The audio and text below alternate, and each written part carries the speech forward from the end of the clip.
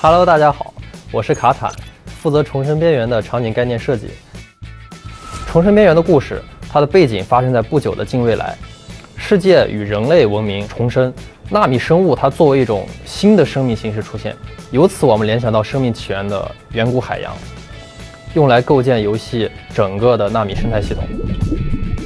远古海洋的生态循环系统，在我们看来就是由阳光、藻类还有固着生物。包括一些游动的滤食生物组成，从中我们提炼出纳米云层、纳米聚合体 Surge，还有纳米鱼，形成了整个纳米生态系统。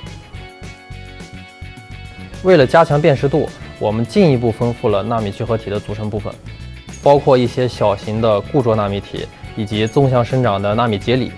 将其作为一套规则，为后续所有场景设计做出指导。